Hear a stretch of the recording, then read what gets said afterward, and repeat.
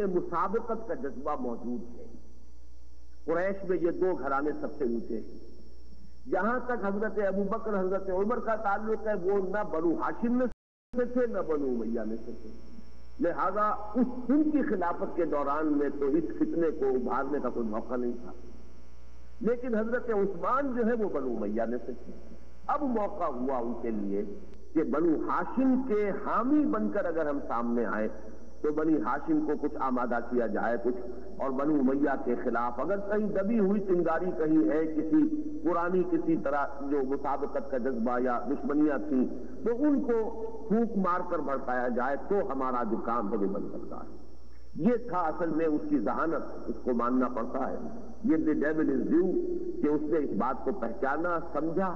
और ये बात वो थी कि जो खुद अब्दुल्ला इब्ने उबई बारहा करता रहा था। वो अंसार के दो कबीलों को लड़ा दिया करता था। औस और खजरत को सीरत की किताबों में मौजूद है। तलवारें निकल आती थी। हालाँकि हजूर वसल्लम बनफ से नफी से भी मौजूद थे। आपके वजूद के बरकत ही की वजह से फिर वो आग ठंडी पड़ती थी और वो बात जो है खत्म होती थी। कितना फरो होता था। सीरत की किताबों में आपको ये वाकत मिल जाएँगे। बहुत ज़ाहिर बात है कि हजूर की वो जो शख्सी बरकत है, वो भी अब अब मौजूद नहीं। और अब यह है कि बनु हाशिम और बनु मैया के माबेन अगर कोई बात शुरू कर दी जाए तो शायद के कुछ लोग जो है, वो उसको लेकर खड़े हो जाए। बहरहाल ये फितना है कि जिसकी आग उसने भड़कानी शुरू की। इसके बाद इस शख्स ने मदीने से निकलकर पहले बसरे को अपना मरकज बनाया। वहाँ एक जराइम पेशा शख्स था, हकीम इब्न जबिल्ला। उसको उसके साथ उसने साजिश की और इन ख्यालात को उसने वहाँ फैलाना शुरू किया। वहाँ के गवर्नर को जब ये इतलात मिली, उसने बात पुरुष की तो वहाँ से हकीम इब्न जिबल्ला वही रहा, ये खुद कूफे आ गया। और कूफे में फिर इससे बड़ी पगीराई हासिल हुई। मैं तफसील से बयान कर चुका हूँ कि कूफा दर हकीकत चूँकि इराक और ईरान की सरहद पर वाक़ था। तो ये छावनी है कि जो बनाई गई थी ईरान और मशरकी जितने मकबूजात थे, उनके कंट्रोल के लिए। तो ईरानी नेशनलिज्म जो है, उसके अंदर जो जरासीम थे, इंतकाम के वो भी यहाँ मौजूद थे। अब उसके साथ ये समझिए कि ये दो आक्षा बात हो गई कि ईरानी नेशनलिज्म उसमें जो इंतकाम का जज्बा था, इधर से ये यहूदी साजिश और उसकी जहानत वहाँ पहुँच गई तो कूफे में इसे बहुत बड़ी एक पार्टी जो है ये बनाने में कामयाब हो गया। वहाँ का लीडर जो है, वो मालिक अशफर नखड़ी ये नाम भी बहुत अहम है, इसलिए कि बाद के तमाम मामला में इसका नाम आता है। यहाँ के गवर्नर ने बात पूछ की तो ये यहाँ से फिर शाम चला गया दमिश्क। दमिश्क में अमीर मुआविया रज़ी अल्लाह तु थे।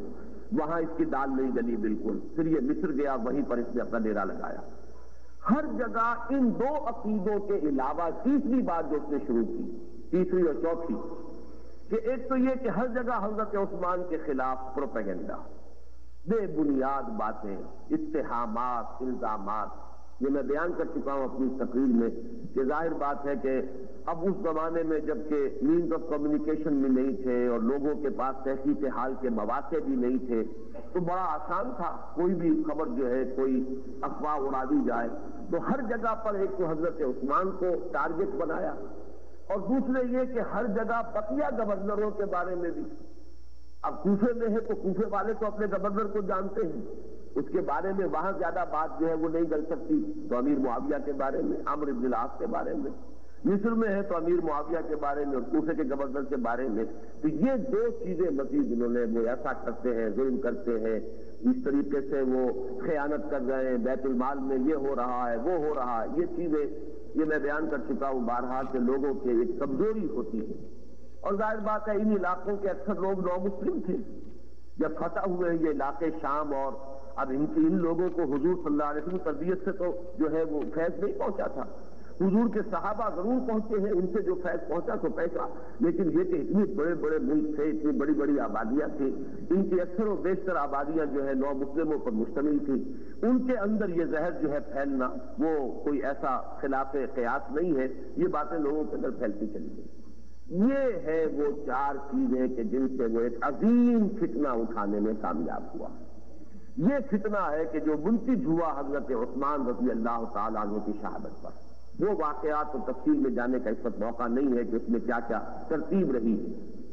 लेकिन अब जो इख्तलाफ मुसलमानों में हुआ, ये जान लीजिए कि पहला इख्तलाफ जो हुआ है हज़रत उस्मान रज़ी अल्लाह तु की शहादत के बाद हुआ। वो इख्तलाफ क्या था? खालिद सियासी नौीयत का, इंतजामी नौीयत का इख्तलाफ। हज़रत अली रज़ी अल्लाह तु को खिलाफत की बैठ लेने पर इन्हीं लोगों ने मजबूर किया। आगे बढ़कर उन्होंने बैठ की। फिर उन्होंने एक हिसार कायम कर दिया हज़रत अली के गिर्द। और वो हज़रत अली रज़ी अल्लाह तु जो है, वो सारी उम्र बकिया उनके जो भी खिलाफत का अरसा है, साढ़े चार बरस, वो इस हिसार में रहे, महसूर रहे, यही लोग उनके गिर्द घेरा डाले रहे।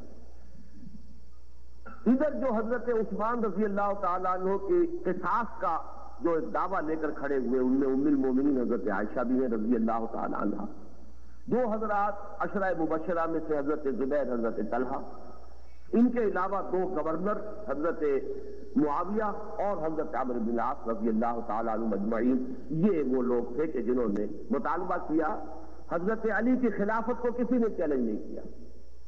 ये किसी ने नहीं कहा कि आप उसके अहल नहीं है या उसके हकदार नहीं बल्कि सिर्फ़ ये कि ये लोग कि जिन्होंने शोरिश बर्पा की, जिन्होंने हज़रत उस्मान को शहीद किया, वो आपके इर्द गिर्द है। इनसे अपने आप को अलहदा कीजिए उनको सजा दीजिए, हम सब बैठ करने के लिए तैयार हैं। लेकिन हुआ क्या? अब इसके नतीजे में दो नाम आए। हज़रत अली के जो इर्द गिर्द थे, हामियान अली यूँ कह लीजिए, उन्होंने ये शक्ल इख्तियार की। उनका नाम पड़ गया शी आने आली और हज़रत उस्मान के किसास के जो दावेदार बनकर खड़े हुए, उनका नाम पड़ गया शी आने उस्मान। हालाँकि उस्मान तो फौत हो चुके, शहीद हो चुके उनकी तरफदारी का ये मतलब नहीं था कि वो उनकी कोई इस वक्त जो है उनकी खिलाफत के दावेदार है, उनका तो इंतकाल हो चुका। लेकिन ये कि चूँकि वो उनके किसास के मुद्दई बनकर सामने आए, लिहाजा शी आने उस्मान और शी आने अली। ये दो, पहला जो है, इस्लाम की तारीख में इख्तलाफ का जो उनवान बने हैं, वो ये दो नाम बने ये बात मैं बयान कर चुका हूँ, कई मरतबा सामने आई है कि इन दोनों के माबेन हज़रत अली और हज़रत आयशा के दरमियान मुतालहत हो रही थी।